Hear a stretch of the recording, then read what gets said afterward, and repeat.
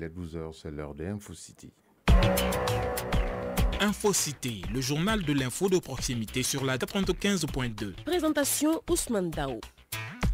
Mesdames et messieurs, bonjour à la une de cette session d'information. On parlera de l'anneau de mariage qui est un lien si fort et qui marque l'amour à côté de l'anneau de mariage, il y a également le stress quand deux, personnes décident de se marier. On verra tout ça dans ce journal. Il sera également question du focus sur le monument de l'indépendance. Vous l'avez compris à l'occasion justement de l'accession du Mali à l'indépendance depuis 64 ans.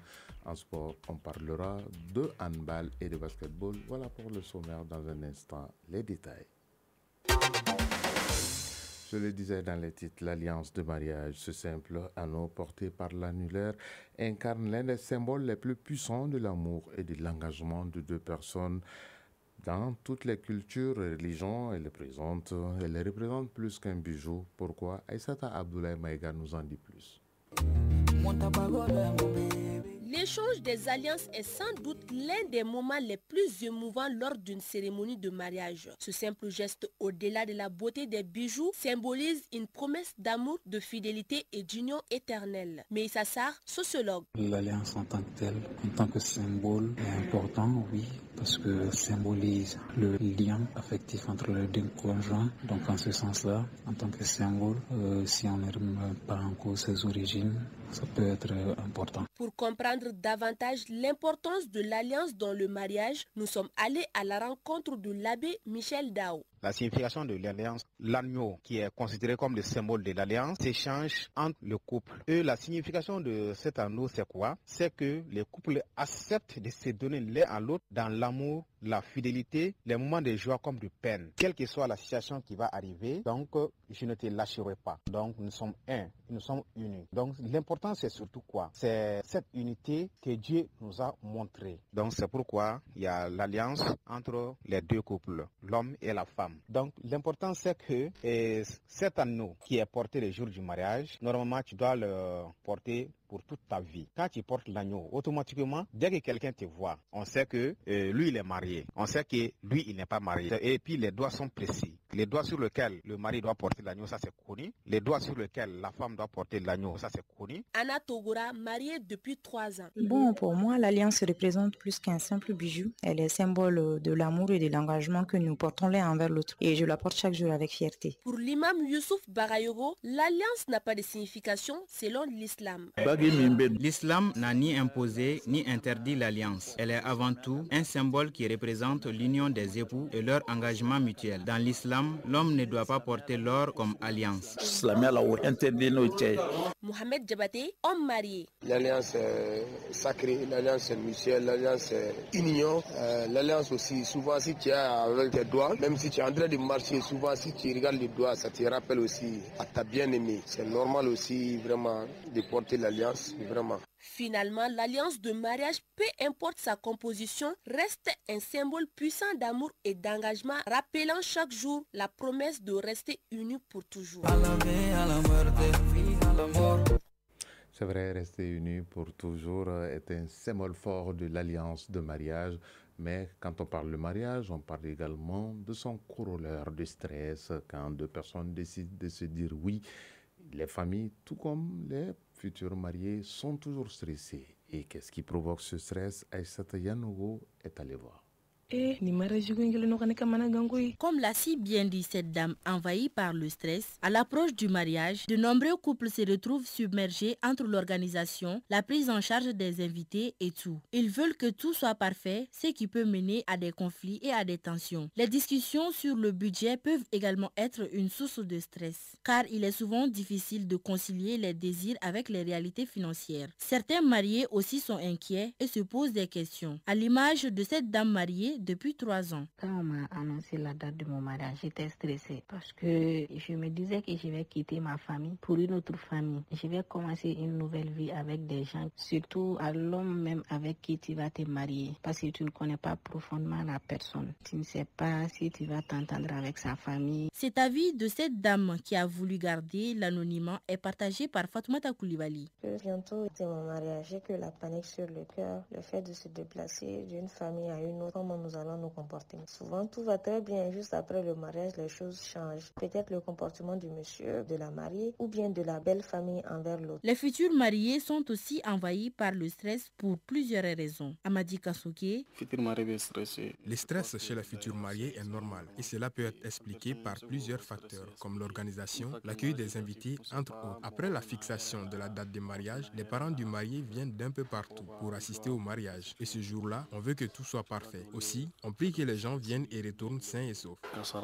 Ce ne sont pas que les mariés qui font face au stress. Les parents le sont également car c'est un jour important où les familles viennent d'un peu partout pour prendre part aux festivités. Awa Amana, parents. J'ai eu à faire trois mariages chez moi. En ce temps, financièrement, ça n'allait pas. Pour accueillir les invités avant le mariage, il faut lui donner un dortoir à manger. Vous pensez comment ça va se terminer? Et c'est de palabre. Le jour que la mariée m'approche chez son mari, comme on est à Bamela, je pensais beaucoup à ça parce que je n'avais pas d'argent. Alissal, parent d'un futur marié. Il y a euh, le stress. Vu qu'il y a beaucoup de choses à faire à la fois, nous devons veiller à ce que tout se passe normalement et que ça soit des moments inoubliables pour nos parents et pour eux aussi, les futurs mariés. Fatoumata Yalkoui, âgée d'une soixantaine d'années. Ah, le fait que la future mariée soit stressée est normal parce qu'elle doit quitter sa famille pour une autre. Elle doit également bien se comporter pour montrer une bonne image de sa famille.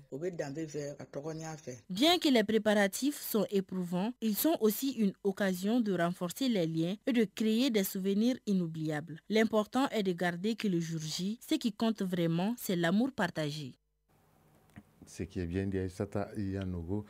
Donc, on va te souhaiter bon ménage au couple et surtout, prenez soin des uns et des autres. Dans un instant, la page internationale. À présent, le tour d'horizon de l'actualité internationale. Ce tour d'horizon de l'actualité hors du Mali est développé aujourd'hui par Ibrahim Souri Traoré en direct dans ce journal. Bonjour Ibrahim. Bonjour Ousmane Dao. Tout d'abord, première destination, le Sénégal, 22 ans après le, naufrage du bateau, le Jola. Une tragédie sans fin pour les proches des victimes. Effectivement, c'est l'une des plus graves catastrophes de l'histoire de la marine civile. Le Sénégal commémore aujourd'hui le 22e anniversaire du naufrage du Jola qui a sombré au large de la Gambie, emportant avec lui près de 2000 hommes, femmes et enfants, pour la plupart piégés à l'intérieur du bateau à Ziguinchor ce jeudi marque l'ouverture du musée mémorial du Jola sur demande des familles des victimes. Depuis des années, rapidement après le naufrage, les familles des près de 2000 victimes et les 64 rescapés ont demandé la construction des mémorials à la hauteur du drame à Dakar, la capitale, et à Ziguinchor, d'où était parti le Jola. On va rester au Sénégal. Hein. Hier, à la tribune des Nations Unies, le président sénégalais Bassirou Diomaye Diakhar Faye, pour son tout premier discours euh, face euh, aux Nations Unies, a défendu bec et ongle le Sahel. Oui, aux États-Unis, la 79e Assemblée générale des Nations unies se poursuit à New York. Le président sénégalais Bassirou Diomaye Faye a dénoncé hier à la tribune des Nations unies les rivalités géopolitiques qui attisent les tensions dans le Sahel, une région déjà en proie à une instabilité croissante.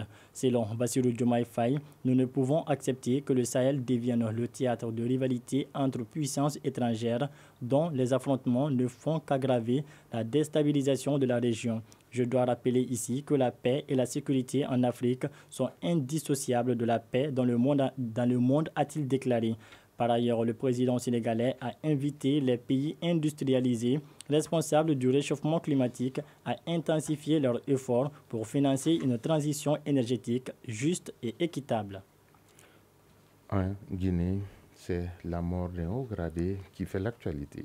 Oui, en Guinée, le colonel Pépé Célestin Bilivogui, disparu depuis novembre 2023 après l'évasion de Claude Pivy de prison, a été retrouvé mort. L'annonce a été faite par l'ancien chef d'état-major général des armées, Sadiba Koulibaly. Longtemps recherché, son corps aurait été identifié hier par sa femme à la morgue d'un hôpital de Conakry.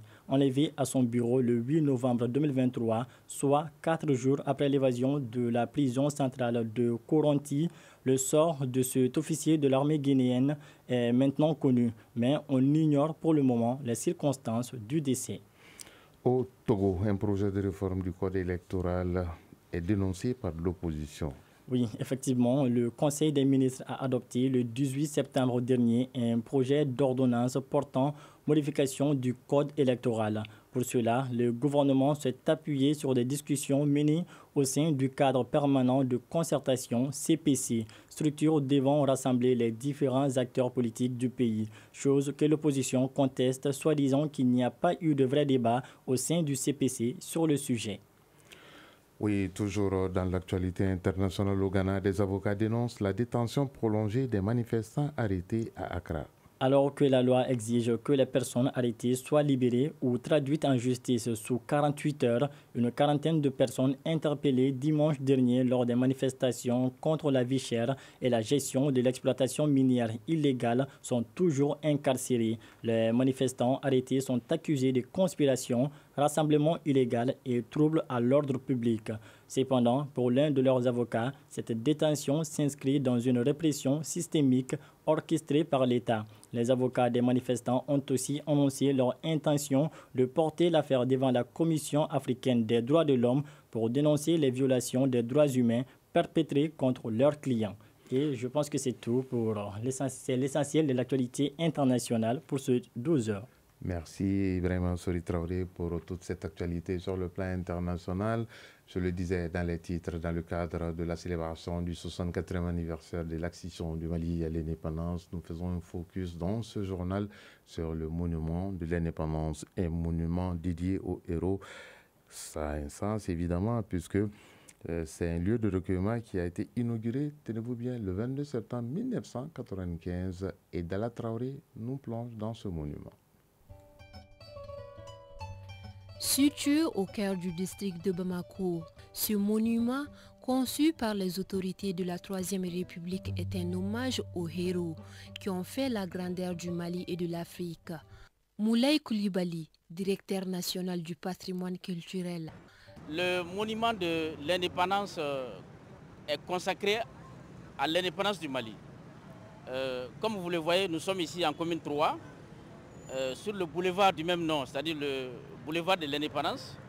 Quatre portes principales l'entourent, symbolisant l'accueil du Mali envers le monde, à condition que sa souveraineté soit respectée.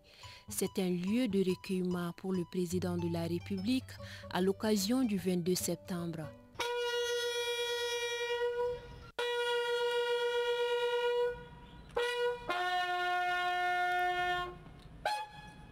Moulay Koulibaly, directeur national du patrimoine culturel. Si vous voyez aux extrémités euh, de ces monuments, vous allez voir des tablettes sur lesquelles sont inscrits les noms de tous les héros de l'indépendance du Mali. Et du point de vue architectural, si vous regardez ce monument, il est de style soudano-sahélien qui reflète la façon dont les constructions traditionnelles ont intégré les influences de la manifestation de la foi religieuse.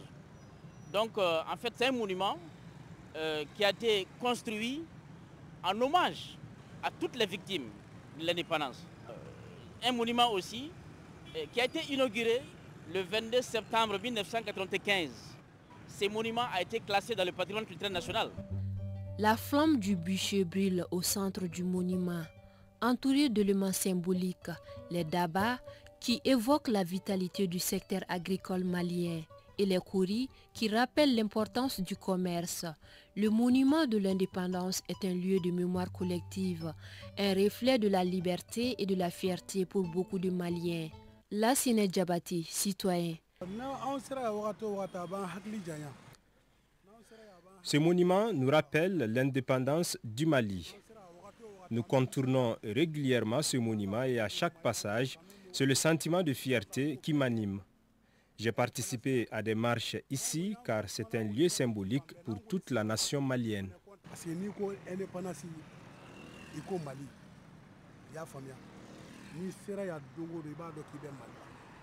Normalement, tous les Maliens en passant à côté de ce monument devraient se recueillir, se remémorer le passé pour mieux préparer l'avenir. C'est ça la symbolique de ce monument. Abdoulaye Traoré, Aujourd'hui, âgé de 79 ans, ce retraité s'est consacré à l'entretien et à la préservation du monument de l'indépendance. L'esprit de patriotisme, j'aime ma patrie. manga wankama manga posa ils m'ont récompensé avec une médaille chevalier national ah c'est la mort qui gagne c'est pas c'est tout Malgré toute la fierté qu'il suscite, le monument de l'indépendance fait face à des défis. Parmi ces défis, les actes de vandalisme qu'il ne cesse de subir. Heureusement, il bénéficie d'une protection renforcée avec une société de gardiennage et de nettoyage. Des travaux de réhabilitation sont également menés régulièrement pour le préserver un endroit à visiter pour notre histoire. Vous l'avez entendu dans ce reportage, il est situé en commune 3 du district de Bamako, non loin de l'ancienne primature, celui qu'on appelle avant bien sûr la maison du peuple à cause de l'investissement humain justement qui a permis la construction de cet édifice juste après les indépendances. Un mot santé dans ce journal. Vous allez entendre ce nom que vous avez pas l'habitude d'entendre, il s'agit de papillomavirus. Oui, le papillomavirus est une infection virale qui provoque le cancer du col de l'utérus chez la femme et le cancer du pénis chez l'homme. C'est quoi le papillomavirus? Didier Maïga nous donne plus d'explications. Selon les spécialistes, le papillomavirus HPV représente le plus grand risque de cancer. Il peut infecter différentes parties du corps, généralement la peau ou les muqueuses. Cependant, chez les femmes, des formes bénignes de HPV peuvent également provoquer des verrues génitales. Aïsata Djara, citoyenne. J'ai pas été victime de cette maladie, mais sur les réseaux sociaux, j'ai vu les gens parler de la maladie. Quant aux hommes, le HPV est moins dangereux car les verrues génitales qu'il occasionne se résorbent en général d'elles-mêmes. Les techniciens de la santé dénombrent 100 types d'HPV, parmi lesquels quelques-uns d'entre eux représentent un risque de cancer. Docteur Ibrahim Sissé, gynécologue au centre de santé de la Fiabougou. Le mode de transmission, ça c'est nombreux. Ça peut être dû à des contacts cutanéo-cutanés, des contacts cutano-muqueuses, des contacts sexuels, des contacts euh, au laboratoire, c'est ça, contacts sanguins. Donc maintenant, euh, la prévention, c'est surtout, on privilégie les vaccins, les vaccins contre le papillomavirus, parce que ce sont ces papillomavirus qui sont responsables des cancers de l'utérus, ainsi que le condylome. L'homme, ça peut être dû à des virus qu'on appelle le condylome. Le HPV ne se transmet ni par la salive ni par la salitation. Il est donc possible de manger avec les personnes infectées sans risque de contamination. Cependant, il n'y a pas de traitement pour l'infection au papillomavirus.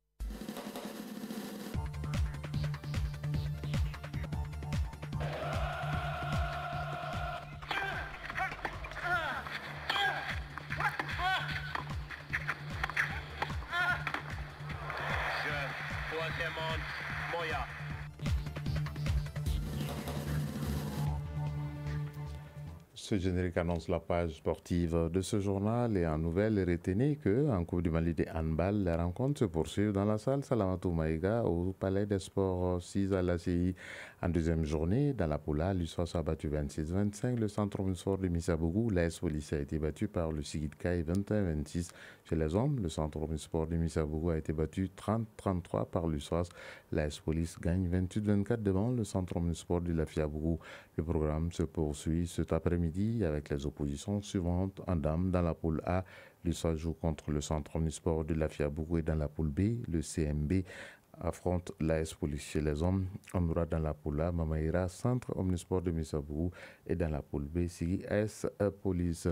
Et puis retenez aussi qu'en tournoi UFOA zone A, la Sierra Leone a surclassé la Gambie 3 buts à 0. Le Sénégal a battu la Guinée 2 buts à 0. Donc euh, ces deux vont jouer la finale et le tirage du tournoi qualificatif de la Cannes U20 est prévu du 17. La Cannes U20 est prévue du 17 au 31 octobre prochain à Lomé au Togo, justement en ce moment même, le tirage au sort de la poule est en train d'être effectué à Abidjan. Ça a démarré il y a cinq minutes. Pour pratiquer le sport, il faut que la météo soit clémente. Ce matin, Bamako a été suffisamment arrosé. Place à la couleur du temps.